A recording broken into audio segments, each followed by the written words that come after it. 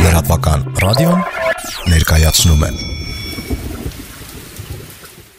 Ենգիբարյանը հաղորդացում էր մարդկանց հետ խելամիտ ու ընդգրկուն, որի համար նրա մասին չեխ նշանավոր արտիստ Միրոսլավ Հորնիչեկն ասել է. հազարավորներ գալիս շարունակ խոսում եւ ոչինչ չեն ասում։ Նա եկավ լռեց եւ ամեն ինչ ասեց։ Իրականում նա ոչ մի բառ չասեց բեմում եւ պատահական չէր որ նաեւ մնջախաղի արվեստում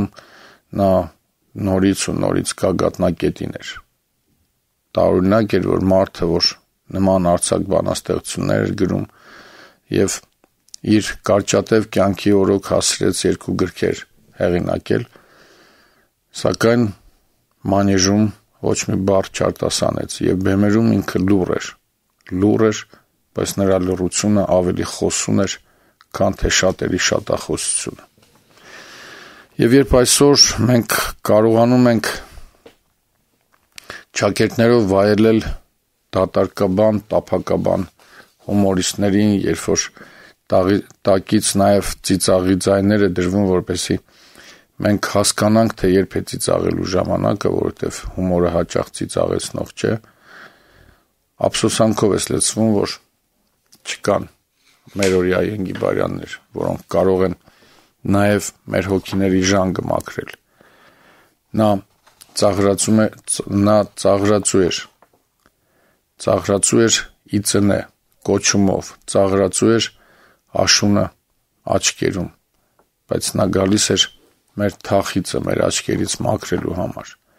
Նա գալիս էր որպեսի այնպիսի ծիծաղ ապարգևեր, որը նաև արցունքներ էր ծնում,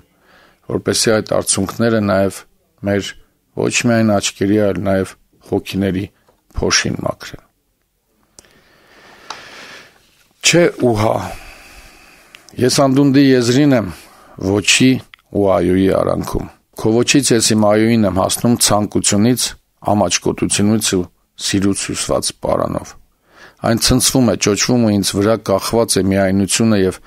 այոն, որ այնքան գրավիչ ու մոտ էր թվում, հիմա անհասանելի է։ Բայց ես քայլում եմ, հպարտությունը պահում է հավասարակշռությունս։ Նաև հին ու բարի հույսի վալսը, որ հնչում է բարդ համարների կատարման ժամանակ, ինձ ուժ է տալիս։ Ես գալիս եմ փորձելով չնայել ներքև ու չմտածել, որ հանկարծ ինչ ես գալիս եմ դեպի քո հան, ինչ որ մեկը արդեն հասել է քեզ, օգտագործելով բարեկեցության աստիճանը։ Ինձ գնալով ավելի ավելի բարդ է։ Ճոճում է հուսահատության քամին ու երբ այդ ճոճքը անտանելի է դառնում, դու անսպասելի գալիս ես ինձ ընթառաջ։ Ես գցում եմ ծանր ծողը, դու գրկում ես ինձ ու մենք ընկնում ենք կամ էլ թրջում, ինչ տարբերություն, պայծառ աստղերից մեկի վրա, որ օստոստյան գիշերների անսահմանությունում սպասում են մեզ վառված։ Սիրելիս ասում է շոյելով մազերս։ Ինչպես կարելի էր այդպիսի ռիսկի դիմել։ Դու կարող էիր սայթակել սարսափելի միայնության մեջ։ Հիմարիկ, ինչի համար էր այդ ամենը։ Բայց դու ինքդ սկզբում ասացիր չէ ու ես ստիպված եղա ռիսկի դիմել։ Միթե ասել եմ զարմացար դու։ Ինչ որ չեմ հիշում։ Նրա այս ռոմանտիկ ստեղծագործությունները իրոք լավագույն արտացոլքն են նրա կերպարի։ Նրա հզոր տեսակի մարդ, որ ապրեց ընդամենը 37 տարի, եւ բուրըն ստեղծագործեց ընդամենը 10 տարի, բայց 10 տարվա մեջ լռելով կարողացավ ամեն ինչ ասել։ Նա այնքան վառ էր իր կերպարով, որ նրա մասին ֆիլմեր էին ստեղծվում։ Եվ նրան նույնիսկ առաջարկում էր իր մասին ֆիլմում իր դերը խաղալ։